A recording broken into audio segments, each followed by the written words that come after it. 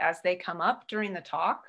Um, we will read the questions aloud at the end um, of the talk and we'll do our best to get to all of them. So we are here tonight um, as part of our community-wide read, One Book, One Beaverton, and in celebration of Bryan Stevenson's moving memoir, Just Mercy. We are pleased to have Aliza Kaplan with us to talk about the death penalty in Oregon. She is a law professor at Lewis and Clark Law School and director of the Criminal Justice Reform Clinic. She serves as counsel to the Forensic Justice Project and co-founded the Oregon Innocence Project. Welcome, Aliza.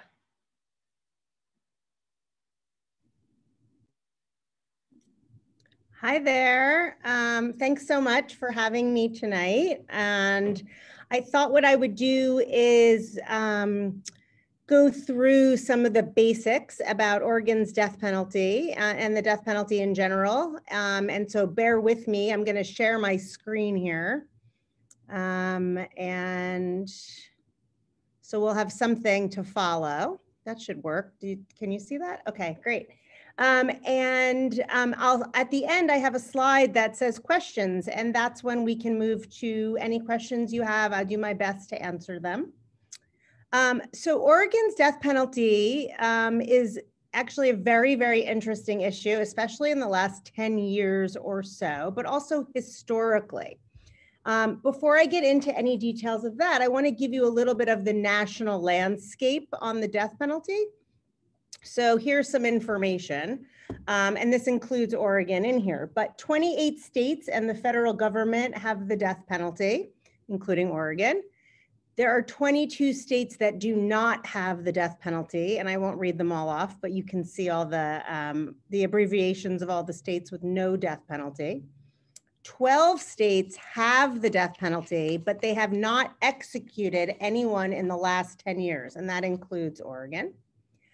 172 people have been exonerated from death row. They were wrongfully convicted, wrongly imprisoned, um, and they spent time on death row. That's including five people this just this past year. And I always want to say about innocence, um, most of you read Just Mercy, so you know this, but as someone who was an innocence lawyer for many years, there are tons of innocent, innocent people on death row, off death row, all over the place that just, we can't prove it, which is why they're not exonerated, but they're still there. So 172 is quite a large number of, uh, of people that we could prove. The number of executions peaked in 90, um, at 98 people in 1999, around that's the entire country, dropped to 35 by 2014, and there were only 17 executions in 2020. And interestingly, you've probably seen some of this on the news lately, there have been 10 federal executions in 2020 um, it's the first time in U.S. history, right, that the uh, that the that the federal government has executed more people than all of the 50 states, and it's the highest number of federal executions since uh, Grover Cleveland was the president.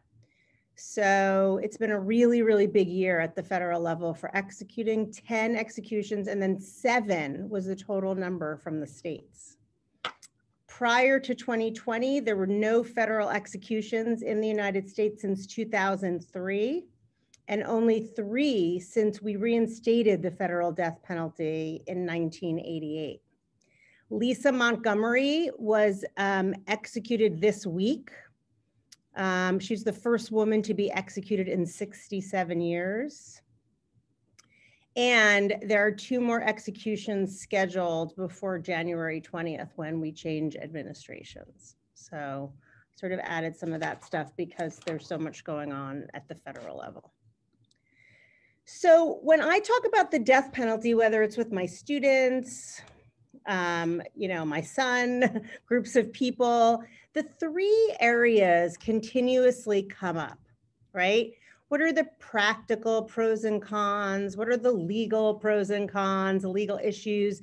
And what is the moral um, you know, issues involved that um, affect us. And, you know, as someone who studied the, has studied the death penalty and represented people that have been on death row, um, as recently as last year, my law clinic had a parole case of somebody who was previously on death row. Um, and um, what you see is all three of these considerations are constantly at play with our death penalty, whether it's in whether we should have one or not, whether it's how, if we are going to have one, what does it look like, whether it's in how we actually conduct executions if we if we do have them how often? What are what are the mechanisms of doing it um, the legal issues are endless and have been since we've had a death penalty. Um, and the practical issues of you know what does it look like to execute someone and how much money does it cost? And all of those things are constantly at play. The moral issues obviously people's religions come into play. The innocence issues come into play. There's a lot of there's so much in the death penalty and there's so much for everyone with all different varying opinions on different things. So these are all the things that sort of come up. And here in oregon back in 2011 it's sort of the beginning of major change in our sort of modern history of the death penalty and that's when Governor Kitzhaber um, said these. This is a quote from a speech that he gave. The practice um, in in practice, Oregon has an expensive and unworkable death penalty system that fails to meet basic standards of justice. 27 years after voters reinstated the death penalty, it's clear that the system is broken. So, in even that statement, you have all of those considerations. Um, and this is what leaders you know, deal with um, when considering their role in the death penalty. This is what voters consider. And Oregon has had one of the most sort of interesting, I'll use that word, um, flip floppy uh, history um, of the death penalty. And as you can see, I won't go into what was happening during all these times, but as you can see, going all the way back to the mid 1800s, we've just keep going back and forth. Um, we also have the death penalty in our state constitution, which not all states have, which means that the only way to officially get rid of it, if that's something that we want to do, is to vote it out through a referendum, um, a ballot measure, or if a court finds it unconstitutional. Those are the only ways. So what you see in our history is the back and forth, the voting for it, getting voting to get rid of it. You see some, uh, the United States Supreme Court and then the Oregon courts have found it unconstitutional as written, but then it gets reinstated and we've gone back and forth.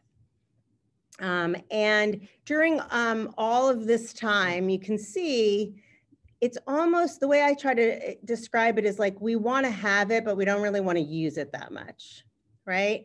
Um, and so, as you can see, even prior to the moratorium that Governor Kitzhaber declared in 2011, which still stands today under Governor Brown, she extended it in 2015. We have only executed two people in the last 50 years in um, 96 and 97. We have only executed two people, and both of those people um, they gave up their appeals, which means we call them volunteers. Um, and they basically said, I'm not going to appeal my case, and so just execute me. And so basically, it's really unclear whether we would have had we would have executed anyone if they were still going through the very long process of uh, being, um, you know, being sentenced to death and then actually being executed. Um, it's it's a, it's years and years and years. So that's the history. So as you can see, let me just go back here. As you can see, in the last 10 years, things have changed, um, or at least since we reinstated it in the 80s. You know, things have changed that we are now, um, although we are still a death penalty state, we're in that group of 12, and there's 12 that have it but don't use it. And there's 22 states that have gotten rid of it and many in the last 10 years. So, you know, how did, what's changed? How have we gotten here? Um, and, you know, these are the things that I sort of think about when, when I think about, I go back into the 90s when I sort of started my career as a lawyer. And I remember clearly, I'm from the East Coast, and I remember clearly um, we, I, we had a governor in New York running on the death penalty. That was, you know, in the mid 90s. It was, you know, it was all the politicians, the Democrats also, were all, both sides, very, very pro death penalty, very pro punitive measures and sentencing and uh, mandatory minimums and all of that, right? The 80s and 90s. And so since then, what's really happened that has changed our minds on a lot of issues or opened our minds to on a lot of these issues? Um, and with regard to the death penalty, I have to say that I think the wrongful convictions issue and that 174 people um, and the awareness that we get it wrong at least that often, especially there's been a few states where they've had numerous wrongful convictions um, from folks who are on death row. So I think the whole um, awareness that we wrongfully convict people, you know, not just people that we put on death row, but the thousands of people that we've now proven that were innocent is always going to change people's minds, open people's minds, maybe their hearts to the fact that we get it wrong that often. And those are just the ones that we can prove. Should we really be making decisions on executing people? So the wrongful convictions issue, I think, was sort of the beginning of people questioning a lot of our criminal justice policy, including the death penalty. I think the cost has become a really, really big issue. And I'm going to talk a little bit about the cost in Oregon because I did a, a, very, very big study on it a few years back. But that's a huge practical consideration that states are spending a ton of money on having a death row, on all of the numerous appeals, and the way that the US Supreme Court requires us to um, provide different levels of protection for people. Um, there's so many different costs involved with maintaining, a, you know, a death penalty. Um, and many states started looking at that cost and saying, Do, is this money that we really want to spend?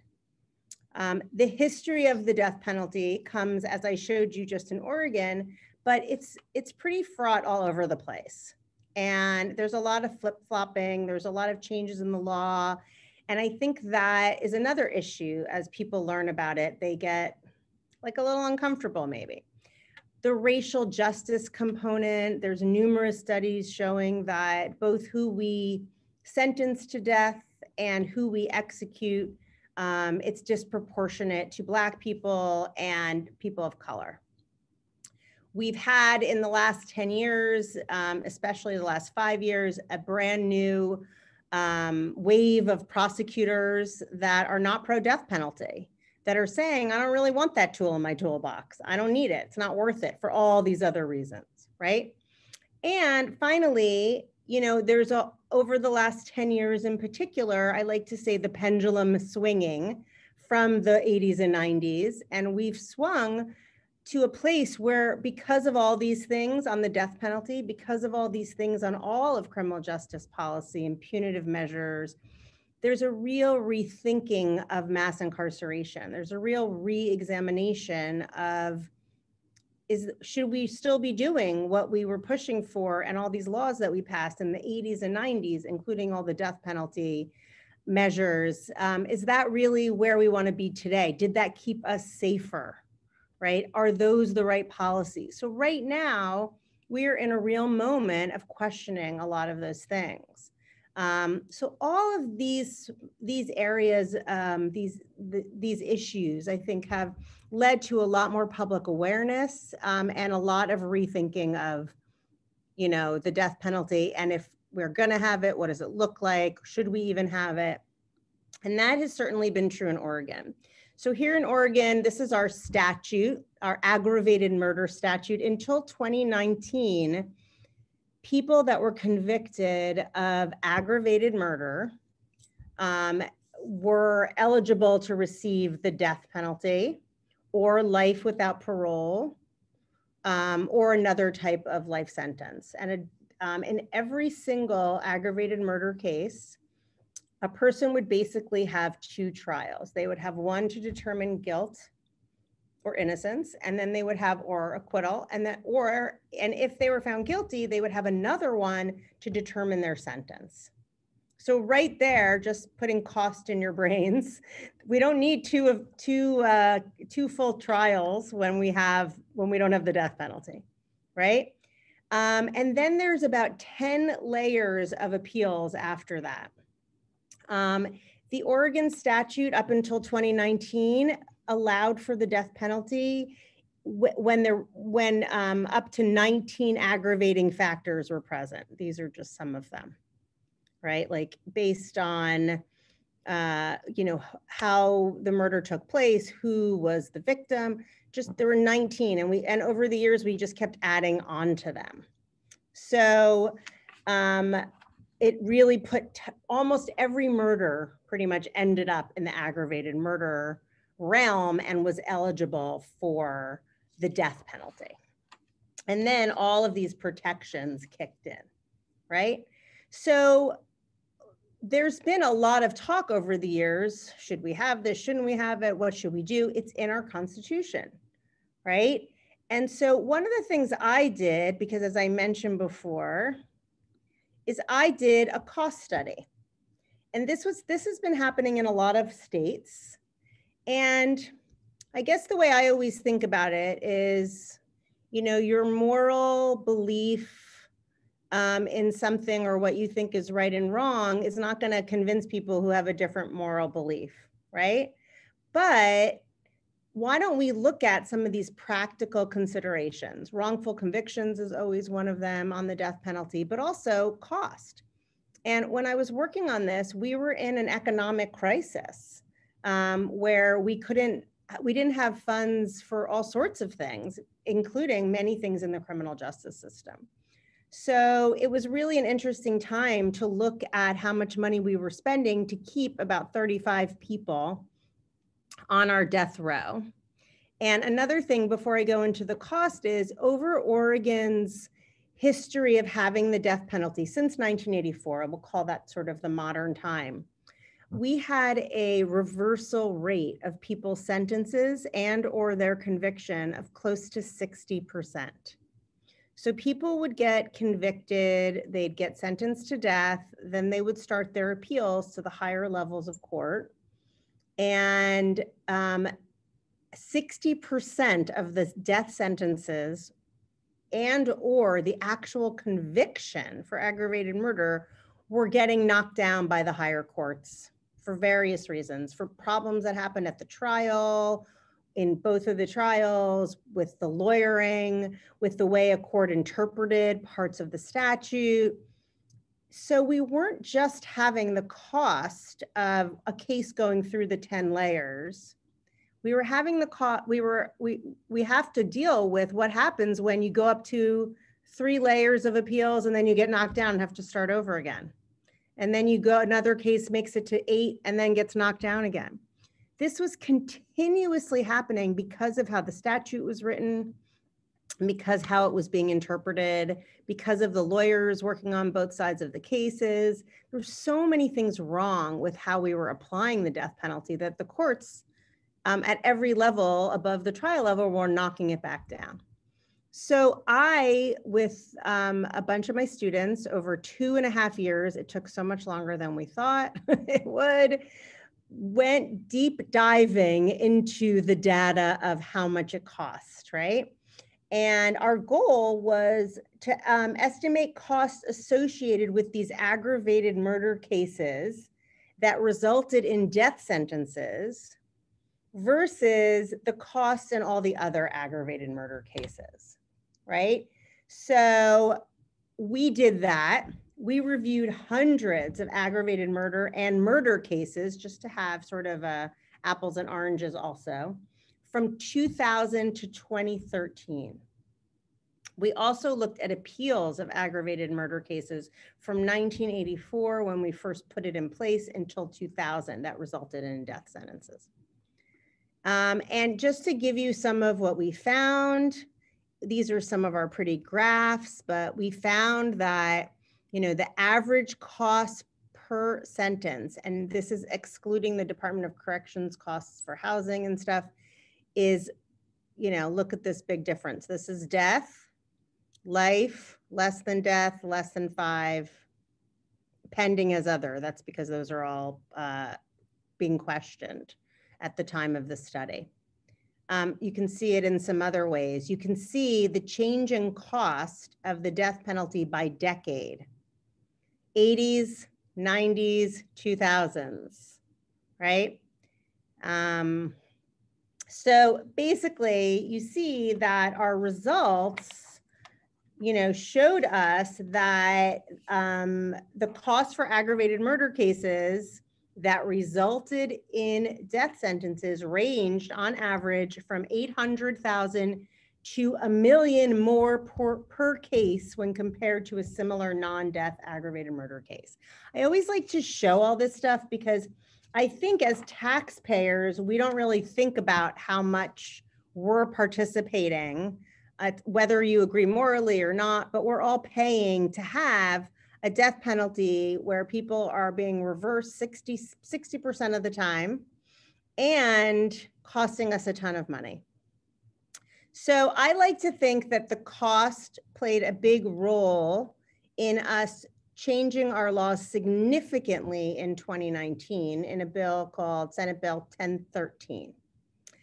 And um, basically our leg our state legislature decided that we're not going to totally get rid of the death penalty. We can't by statute. As I mentioned before, it can only go away completely if we vote as the public votes on that, or if our courts or the US Supreme Court find it unconstitutional.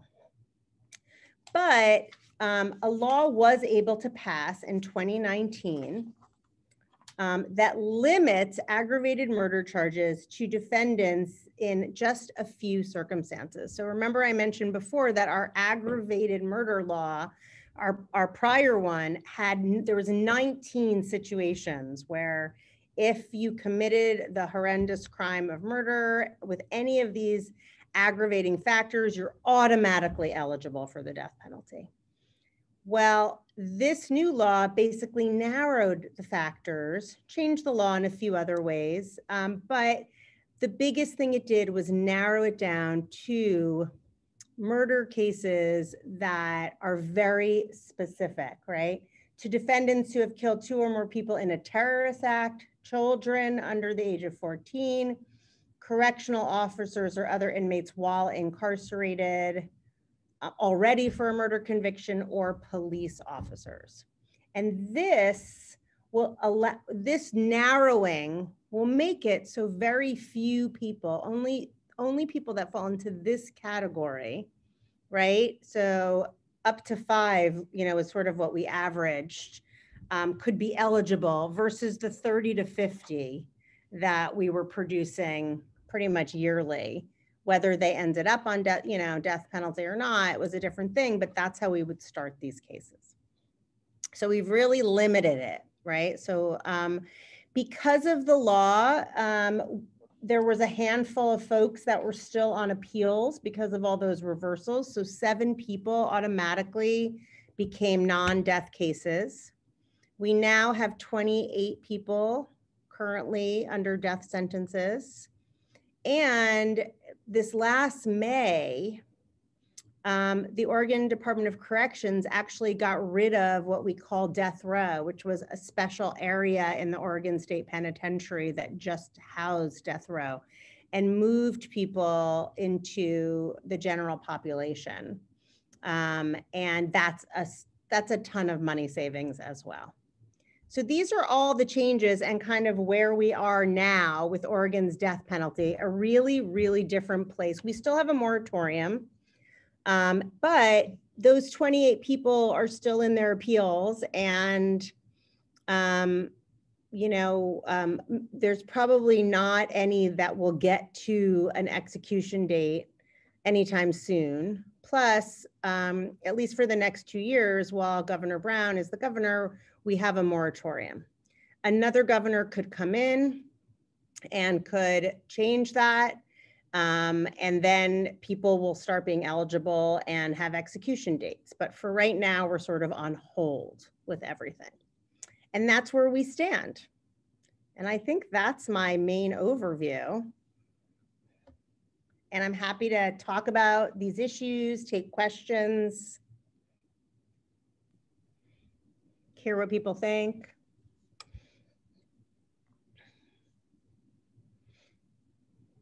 Thank, thanks so much, Aliza. Um, there were a few questions that came in Great. through the chat. Sure. Um, the first question is, do you expect the federal death penalty to be overturned with the new administration? And has the federal death penalty flopped like Oregon has at all? Like flip flop back and forth? Yeah, good question. We've had a, we've had a federal death penalty in place pretty straightforwardly, but also haven't executed anyone in a long time. So in that way, it's similar. There has already been legislation introduced to get rid of the federal death penalty. I, my opinion is that if that can pass um, in both houses, that, uh, that uh, President-elect Biden would probably sign it. Um, but I do know that that under a new administration, even if a law like that doesn't pass, we would likely go back to where we were before, which is have a death penalty, um, a federal death penalty, but not ever use it, or use it only very, very rarely. Um, and you know, one of the things that was so horrible about the last year or so with these cases is um, lower court judges in many instances didn't wanted to sort of slow down the um, cases. So, for example, in Lisa Montgomery's case, uh, federal court in Indiana, and this included Trump appointees and Obama appointees, whatever, all the different judges really felt that she should have had um, more opportunity to have, um, you know, all the checks on her mental stability. Um, she had a lot of trauma and um, suffered a lot um, with her mental health. And she was ordered the, the day before her execution, a federal court ordered to ha- have her go through more um, examination of her mental state. And it went right up to the Supreme Court and they said no. So, you know, the cases not only were got to the death penalty, but they were handled incredibly harshly by the by um, Trump's U.S. Attorney's Office also, um, and at a minimum, that will not happen. Um, I- but I do think that there is a lot of hope that um, Congress could pass um, a law that could get rid of the federal death penalty. So I guess we'll see soon enough. Um, do we know the racial makeup of the people executed? Is there a racial disparity? Um, in general, in Oregon, uh, any specific, yes, the answer is yes.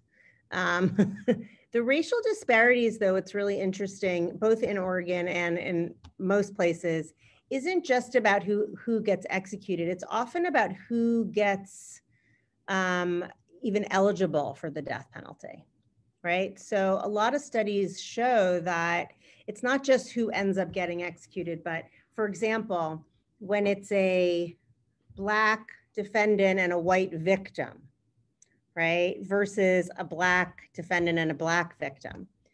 In the first situation, that person's going to easily be eligible. It's so the racial issues and the disparities come in at sort of every place in the process um, of the death penalty in most states or ones that I've, most of the ones I've looked at. And there's also a real disproportionality among counties, both here in Oregon, um, historically, um, and in most in most states.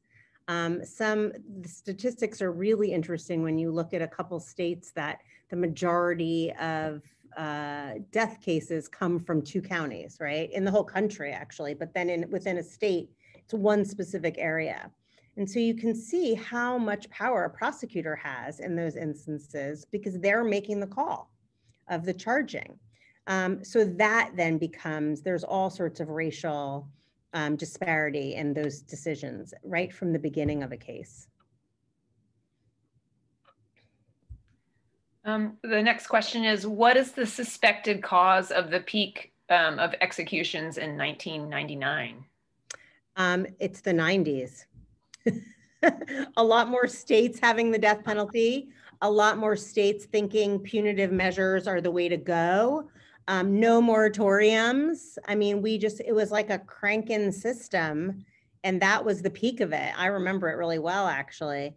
Um, it was just, I remember, um, this is like a little, uh, you know, per, more personal story, but I remember I was on some street corner handing out flyers against the who the person running for governor in New York at the time because they were pro death penalty and I wanted someone who was who was against the death penalty. And I remember it I was I was the crazy person, you know. Everybody was for the death penalty back then. Everybody. It was just the norm, you know. It was the norm and that's how we handled all matters of criminal justice. That was the peak of mass incarceration. It was the peak of mandatory minimums, the late 90s, you know, the mid to late 90s. Um, we were just in that moment. And most every state was just cranking the death penalty. There was a few exceptions. Okay, the next question is, are the cost um, of the of the death penalty cases essentially court costs over all the years of the original trial and the many appeals? Yeah, there are a lot there. Yes. So, you know, the first big costs come. Um, the U.S. Supreme Court has set some some parameters about the levels, of the kinds of appeals over years. They've set these sort of parameters of what is required in death penalty cases. Death is different, right? Is the language from the Supreme Court. And states then go back, they have their laws, and then they put in place these sort of mechanisms. And then over the years, litigation, state litigation, federal litigation has led to sort of creating what's what has to happen, what's the minimum requirements. Um, and so um, in Oregon, for example, as I mentioned, you know, as soon as you become death penalty eligible, you automatically move to having these two this is you know um, it's a little different now under our new law but historically since the 80s you moved into having these two trials right? One for guilt one for your sentence. And you're provided a team of lawyers and investigators and you know inv- you know to, to do all of these things mitigators um, and so automatically that kicks in. They start preparing your case. The prosecutor may have put death on the table to get you to plea down because 97% of our cases plea down, right? But right there, those costs, even if you end up taking a plea and never going to trial, all those death uh, costs kick in right there at the beginning.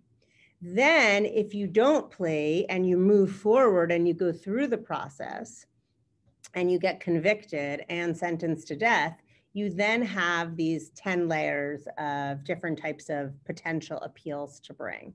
And yes, at each one, you have your team, and each one you keep going, and it takes 100 years. I'm exaggerating, but a really long time. And then the courts strike it down because of all the issues I mentioned before, and then you have to start over. So it's really what I call process and in our study, the costs included defense, prosecution. The prosecutors spend a ton of money investigating these cases, right? They're the state too. Uh, prosecuting, investigating everything relating to put on the case and everything related to defending the case. Um, and that's at every level, right? It includes court costs. Um, one thing we looked at that was really interesting was that death penalty cases have you know, five times as many hearings as a regular felony case, right? Pre-trial hearings, all of that, you know, everything from courtroom time, judge time, prosecutor time, defense time, you know, at every layer this is going on. So the costs all come in there. And then, of course, there used to be specific housing or just housing people in general in prison and all of that. So the next question starts with a quote from Sister Helen Prejean. Uh, it says, "What the eye does not see, the heart cannot feel," um, and then goes on goes on to say, "She said her job is to bring people inside the execution chambers and to give them facts about the death penalty. Education is what changes minds and hearts." Um, what are your thoughts about that? Yeah, well, I mean, you know, um, she's amazing.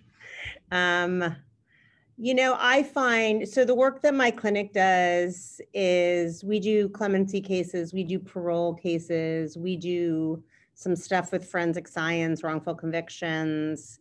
We have a program in the youth prisons. Uh, we provide legal services um, through the Oregon Youth Authority. Um, and we chime in on all different legal issues and cases and do studies and reports and stuff. But you know the way my whole philosophy with my students and in general is that and you know i've spent more than 20 years of my career in prisons um, representing people you know in these various capacities. And i think bryan stevenson says this and i believe this deeply which is you know no person is you know, they're one bad act and these are humans. And so it's about it's about showing people the facts, but it's also about having people realize that these are human beings. And even if they've done horrible, horrible things, um, and I don't make excuses for people who do horrible things, but I do believe deeply that people can change, almost everybody. And um, you know, especially with the death penalty, it's when you have a death sentence, you can't, it's really hard to change because that's always hanging over your head. Um, and there's plenty of, you know, prison's the worst place in the whole world. And being in prison for the rest of your life, which I'm not, I'm not pro either, um, is in some ways worse than the death penalty. so there's just so many issues. But I think really what it comes down to is, you know, these are humans, and um, and most of them, if if I sometimes have trouble reading our petitions and the things we write because of the childhood trauma people have been through, um, because of the experiences people have had leading up to their crime. And again, it's not an excuse, but um, it does provide some context of why people get to a place where they end up committing a horrible crime.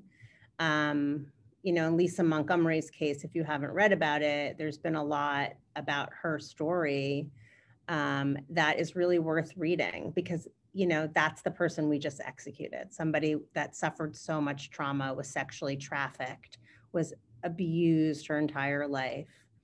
Um, and, you know, rather than try to heal her before she committed a crime or even after she committed a crime we end up you know as a as a country we ended up executing her. And that's on all of us. So you know i won't go on but you know i have a lot to say about these things. And i ha- i'm really fortunate because as a lawyer i have gotten you know hundreds of people out of prison that either didn't commit the crime or did commit the crime, but had changed themselves. And, you know, and I get to teach a whole bunch of amazing students to to do the same. So I'm really, really fortunate lawyer. And what I consider the most fortunate part of my job is all of the clients and people that I've met that are incarcerated. So it's just, so I'd like to bring everyone to prison is what I'd like to do. and meet and meet all my friends. Okay, the next question is, can you tell us more about the organizations you work with and what some of their current work is? Yeah, I did that a little, I think. So the clinic at the Criminal Justice Reform Clinic here at Lewis and Clark, um, I started it about six years ago. And you know, the main mission of a law school clinic is to train people to be lawyers. So I get second and third year law students, and law school's three years, if folks don't know. So I get students in their second and third year. And unlike an internship or an externship where they go to a law office and they work for a lawyer or they follow people around and do work for them, um, the students in the clinic under training with a lot of training and supervision represent clients on their own. Um, so they're the lead basically. You know, if we've done everything right, when we get to the parole hearing, and what we've submitted to the parole hearing, it's all the student. And they've been trained to properly represent someone and they've done all the interviewing of the client and they've drafted all the legal materials, etc. So a clinic is like a very hands-on um, learning and teaching experience. And the students, as I mentioned, we represent people on parole which in Oregon are people who have committed murder and they were convicted at a very specific time in our history before we had mandatory minimums or before we had Measure 11, and they're coming up 25 or 30 years later to the parole board. Um, and we represent people in clemency, where we're asking the governor to commute someone's sentence. Um, as I mentioned, we have a youth legal clinic for incarcerated youth, where we help with legal navigation and know your rights and help them do legal research and fill out forms and understand what happened in their cases. Um, and then the Forensic Justice Project is, I think you're going to have a speaker in a couple weeks, my colleague Janice, um, who's amazing. But that's an organization that she'll explain more, but we focus on looking at how forensic science played a part in either getting the wrong people in prison so looking backwards at cases how you know did we use bad science to convict someone and how do we get them out? But also to train lawyers and judges and work on cases on the front end that have a forensic science piece which by the way is almost every single criminal case these days.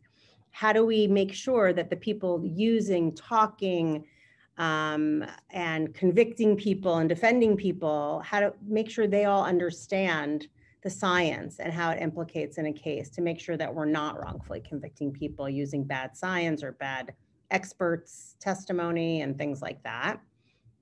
Um, and then we also have our big project that we have this year is called the Ramos Project. Um, and my clinic was really involved in getting rid of non unanimous juries in felony cases, which we had in Oregon for 85 years. Um, and we won at the US Supreme Court last spring. And now we're working to help prisoners apply to have their cases potentially vacated based on the US Supreme Court law. So that's a temporary project um, because the law's changed so the, the, that's what we do at the clinic, which always exhausts me when I talk about it because it's so much. But um, but it's wonderful, and um, and the students are learning a ton, and the students are walking people out of prison while they're law students, which is kind of incredible. Um, and so we've been really, really fortunate that um, we've had a lot of traditional success, although we define success a little differently in the clinic, but we have had a lot of traditional success, which is a lot of our clients have been getting out of prison in the last few years. So that's what we do. We also collaborate with tons of other organizations, um, obviously in Oregon on different issues, especially with COVID in the prisons. We've been doing a lot of collaborative work. That sounds like amazing work. yeah, it is amazing. I'm lucky. Yeah. Um, the next question is on the subject of mass incarceration. What are other alternatives being explored, and where would someone like Dayton Leroy Rogers fit in? Dayton Leroy Rogers. Okay, well, first of all, let's talk about mass incarceration a little bit. So, as I mentioned, you know, the pendulum has swung, right? or a swinging. And um, as I'm constantly warned by my elders, my my parents, it's going to swing back. So quickly get in there and do as much as you can. And you never know when it's going to go. Um, so um, you know, the pendulum has swung, and I think that part of it are a lot of the things I mentioned before with regard to the death penalty, but it works for all these issues. And when I started working on innocent stuff um, back in the late 90s, before it was so popular and everyone knew about it, and um, it was a really interesting time. And I was there at this sort of beginning of like, uh, as a lawyer, a new lawyer figuring this stuff out, but also seeing sort of the public starting to figure it out. And the amazing thing about wrongful convictions is that it sheds a light on so many problems in the system, right? And innocent people are compel people who don't care about these issues to care. So you kind of had this um, this moment, right, where people were like, "Oh my God, this is happening! Oh my God, I had no idea! Oh my God, we we I, identify people wrong all the time. People falsely confess. Prosecutors are doing terrible things. Defense lawyers are terrible. Like all these different issues are sort of uncovered. The light is, was, you know, um, wrongful conviction shines a light on all the problems in our system." And so, you know, starting sort of there, um, in the beginning of the 2000s, as more and more people started getting out of prison, it started having people question, you know, what can we like? Is is all are all these laws we created in the 80s and 90s are they keeping us safer? Are they better? You know, are is the world and what we wanted from all those laws is that happening? Can I walk down the street more? Is there less crime? And what we kind of learned was that that's not really what makes us safer. Putting tons of people in prison isn't what makes it makes us safer. Um, and that we're our communities, you know, crime goes like this for a lot of different factors, and imprisoning people for crazy long periods of time and these consecutive sentences and these measure 11s and for you know not in oregon but in a lot of places for um, you know, small drug possession and things like that. It just wasn't um, doing what um, everyone said it was going to do. So it created these openings to sort of rethinking these issues. Um, and so what's happening now? Well, a lot of things are happening now. I mean, Oregon is at the forefront of some of these things with Measure 110. Um, not let's not put every single person in the let's not solve all of our problems with the criminal justice system so, in addition to harsh penalties, the answer often in our society is how do we solve that? Well, let's arrest them and put them in prison, right? Um, and I think now there's so much more of an awareness that there's it creates an endless cycle of poverty. It has so many racial injustice issues. Um, and it doesn't solve the problems in our communities. Um, so I think what we're seeing is people are trying other things right? Like let's not put everyone in prison because they they have you know some drugs on them right? Let's uh, i think the whole marijuana legalization thing is part of that.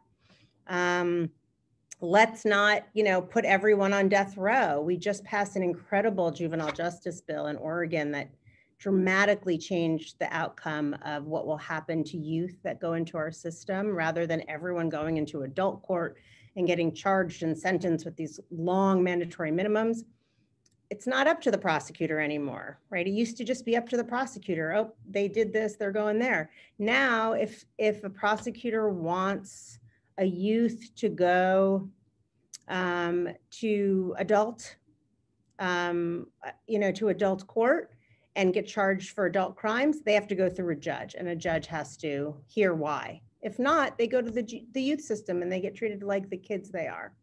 So there are lots of things happening in our system um, that are very, seem really positive. It doesn't feel fast enough, right? There are certainly some efforts in this upcoming legislative session to make some changes to Measure 11, which is amazing. Um, we passed the, de- changed the death penalty law. We changed the youth um, the juvenile, we passed the juvenile justice law. So there's definitely a lot of things happening here in Oregon um, and around the country where people are just re-examining things. And it'll be interesting to see how far we can go before the pendulum swings back.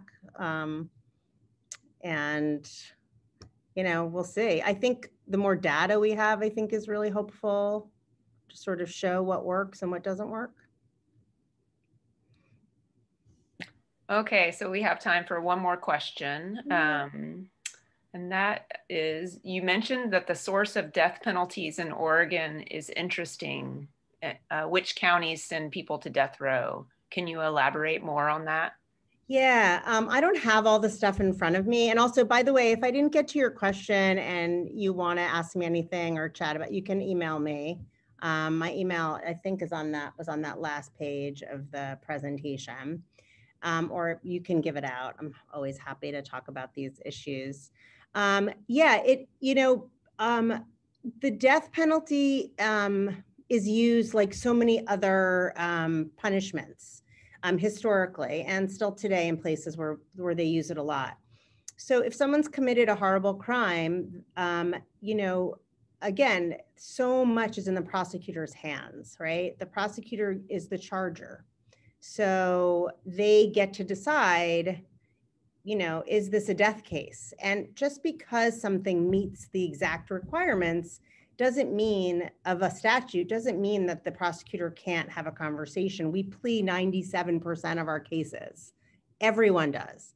That's a whole other presentation and conversation, but that's how our system works. So there's so much discretion at the beginning of a case in the charging um, that you just see in counties around the country.